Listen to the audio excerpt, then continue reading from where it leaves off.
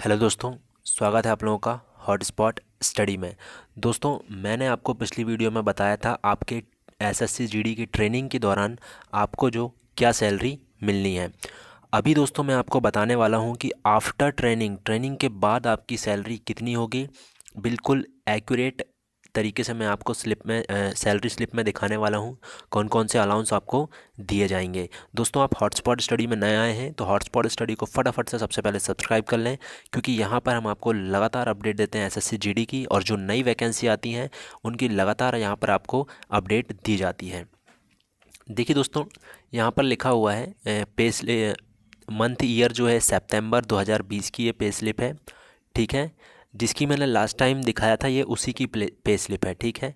ये ट्रेनिंग के बाद की है, मैं आपको बता देता हूँ, ये देखिए सीआरपीएफ लिखा हुआ है, ठीक है? यहाँ पर हम बेसिक पे देख लेते हैं इनका तो इनका जो बेसिक पे है दोस्तों, बाईस हज़ार चार सौ रुपये है। ये जो है सेप्टेम्बर 2020 का जो है बेसिक पे है, बाईस हज़ार चार सौ रुपये ये बढ़ गया था, ठीक है?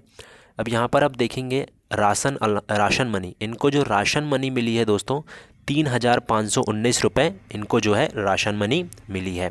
अब यहाँ पर इस साइड में दोस्तों ये सारे अलाउंस वगैरह लिखे हुए हैं और ये जो इस साइड में लिखा हुआ है, ये है गवर्नमेंट डिडक्शन मतलब गवर्नमेंट पैसे कितने काटती है।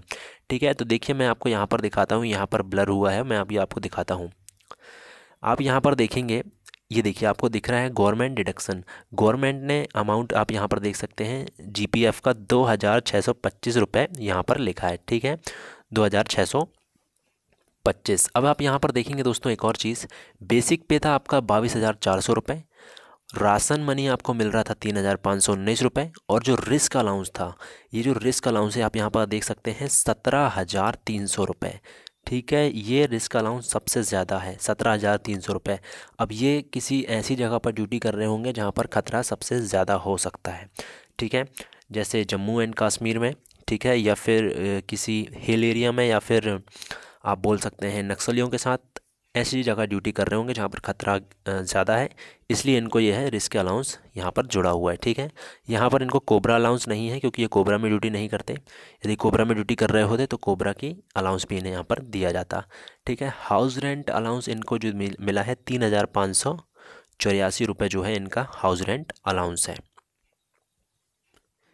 देखिए, तीन हज़ार पाँच सौ चौरासी रुपये ये हाउस रेंट अलाउंस था, ठीक है? अब ये डेयरनेस अलाउंस जो है, डेयरनेस अलाउंस जो है इनका तीन हज़ार आठ सौ आठ रुपये है दोस्तों। और यहाँ पर आप देखेंगे हेयर कटिंग अलाउंस, ठीक है? और सॉफ्ट टॉयलेट अलाउंस जो है, पैंतालीस पैंतालीस रुपये है थोड़ा सा और जो रम अलाउंस है, ये है दो सौ अड़तालीस रुपये ठीक है? रम अलाउंस इनको दो सौ अड़तालीस रुपये मिला हुआ है। टोटल इनका हम यहाँ पर, और यहाँ पर देख लेते हैं टोटल इनका कितना हो रहा है। टोटल इनका देखिए दोस्तों, ये सारे जो अलाउंस है, ये सब कुछ मिला के इनकी जो पेमेंट हुई थी ग्रोस पे, जिसको हम बोलते हैं, वो हुई थी इक्यावन हज़ार इक्कीस रुपये ठीक है? इक्यावन हज़ार इक्कीस रुपये अब इस चीज़ को भी हम, मैं वीडियो के आप, बाद बताऊँगा आपको कि थोड़ी देर बाद कि सभी को इक्यावन हज़ार इक्कीस रुपये मिलेगी, या फिर इसके भी अलग अलग वो होते हैं, मैं आपको बताऊँगा, अभी रुकिए। देखिए गवर्नमेंट यहाँ पर डायरेक्शन करिए दो हज़ार छः सौ बावन रुपये स्क्रॉल करते हैं, दो हज़ार छः सौ इक्यावन रुपये सॉरी यहाँ पर आप देख सकते हैं पेमेंट ग्रॉस पे थी इनकी, इक्यावन हज़ार ज़ीरो इक्कीस रुपये इक्यावन हज़ार इक्कीस रुपये और गवर्नमेंट ने काटी है दो हज़ार छः सौ इक्यावन रुपये ठीक है? ये आपको जो कटता है, ये सब आपकी जब नौकरी ख़त्म होती है तो उसके बाद आपको वापस मिल जाता है। यहाँ पर आप देखेंगे, जो नेट अमाउंट बना है दोस्तों आपका, ये बना है सैंतालीस हज़ार पाँच सौ चालीस रुपये मतलब कि जो आपको हाथ में जो सैलरी मिली है, वो है सैंतालीस हज़ार पाँच सौ चालीस रुपये अब दोस्तों देखिए, इनको जो है, इनकी आप सैलरी देख सकते हैं, इनकी सैलरी बहुत अच्छी है। इक्यावन हज़ार इक्कीस रुपये बहुत ज़्यादा सैलरी होती है, ठीक है? अब आपको देखिए, क्या आप सभी को इतनी सैलरी मिलेगी? तो देखिए दोस्तों, मैं आपको बताता हूँ, ये डिपेंड करता है किस पे? आपके रिस्क अलाउंस पे। इनका देखिए, रिस्क अलाउंस कितना ज़्यादा है? सत्रह हज़ार तीन सौ रुपये इनका रिस्क अलाउंस है, और यहीं से इनकी जो पेमेंट है, बहुत ज़्यादा बढ़ गई। अब रिस्क रिस्क अलाउंस भी ये तीन प्रकार का होता है दोस्तों, ठीक है?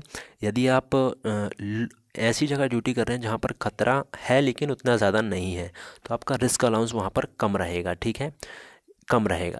मान के चलिए आपका रिस्क अलाउंस इतना रहेगा, ठीक है? इतना, ठीक है?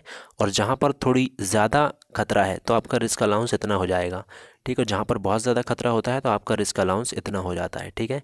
और ये वाला जो है, ये इतना है, ठीक है? सत्रह हज़ार तीन सौ रुपये ठीक है इसी हिसाब से आपका जो है रिस्क अलाउंस कम ज़्यादा होगा तो फिर आपकी पेमेंट भी कम ज़्यादा होती रहती है। नॉर्मली लेकिन दोस्तों आपकी ट्रेनिंग के बाद जो होती है आपकी पेमेंट जो है बढ़ ही जाती है ठीक है? आपकी ट्रे, ट्रेनिंग के बाद आपकी पेमेंट बढ़ जाएगी ठीक है? अलग अलग स्टूडेंट्स की अलग अलग अलग हो सकती है जो कहाँ कौन कहाँ पर ड्यूटी कर रहा है किस जगह ड्यूटी उसे मिली है ठीक है? ये सारी चीज़ें उसमें डिपेंड करती हैं। दोस्तों, आशा करता हूँ आपको ये स्लिप समझ में आ गई होगी सैलरी स्लिप और दोस्तों, आप पिछली वीडियो पे जाके देख लेना। यदि आपने नहीं देखी है तो ट्रेनिंग के दौरान आपको कितनी सैलरी मिलेगी? डिस्क्रिप्शन बॉक्स में मैं उसकी लिंक दे दूँगा, ठीक है? तो आप वहाँ से जाके चेक कर सकते हैं ट्रेनिंग के दौरान आपकी सैलरी कितनी है। यही कैंडिडेट की है, ये जो कैंडिडेट की स्लिप है, ये जो सोल्जर की स्लिप है, यही इसी सोल्जर की स्लिप मैंने आपको दिखाया है ट्रेनिंग के दौरान की सैलरी कितनी थी, ठीक है? दो हज़ार उन्नीस में, ठीक है? और ये दो हज़ार बीस की सैलरी है, ठीक है? तो आप जाकर देख सकते हैं। वीडियो अच्छी लगी तो लाइक कर देना, कुछ भी क्वेश्चन हैं तो आप कमेंट करके पूछ सकते हैं। चैनल को सब्सक्राइब ज़रूर कर लेना, लगातार अपडेट पाने के लिए।